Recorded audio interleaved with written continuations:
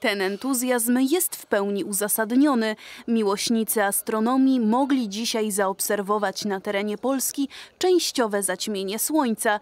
Istniało jednak ogromne ryzyko, że plany pokrzyżuje pogoda.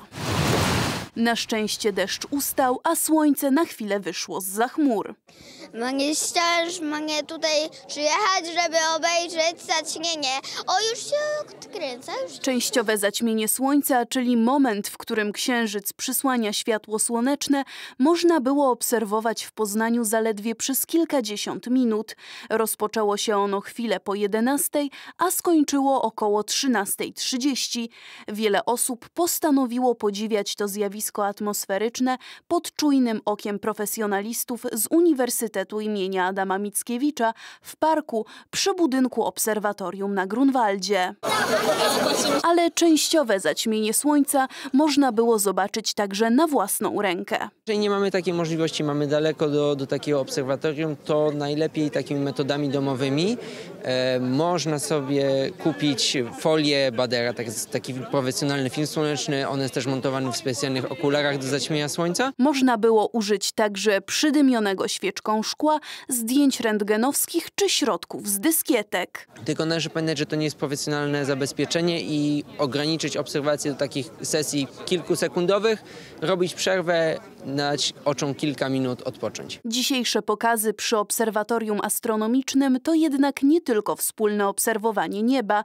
Dla uczniów i studentów to także forma praktycznych zajęć i dowód na to, że fizyka i nauki ścisłe mogą dawać frajdę. Muszą mieć okazję, żeby zobaczyć też taką fizykę żywą, e, wyjść e, czy to na e, pracownię fizyczną, czy właśnie zobaczyć takie zjawiska w przyrodzie, żeby nawiązywać na lekcji też do, tego, do takiego powiązania z rzeczywistością. Astronomicznego bakcyla można złapać już nawet jako kilkulatek, tak jak Nikoś, który do obserwatorium przyszedł dzisiaj z mamą i babcią.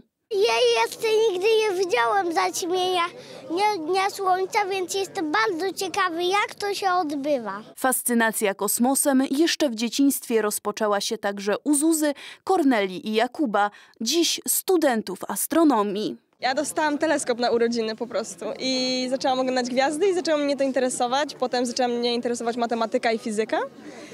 No i potem postanowiłam pójść na studia i okazało się, że są tak fajne, jak mi się wydawało. E, No u mnie się tak zaczęło, że po prostu zaczęłam czytać książki różne takie astronomiczne i astrofizyczne. Też, też posiadam teleskop i jakoś tak stwierdziłam, że przyjdę tutaj studiować. Ja również od książek i też e, filmy na YouTubie, na przykład takim dużym e, czynnikiem, dla- dlaczego postanowiłem się zainteresować fizyką i, e, i astronomią. Dzisiejsze zaćmienie, które można było obserwować także w Poznaniu, było częściowe. Na całkowite w Polsce niestety trzeba będzie długo poczekać. Będzie niestety dopiero w 2135. Zdecydowanie bliższa okazja, by podziwiać całkowite zaćmienie już w 2026 roku w Hiszpanii.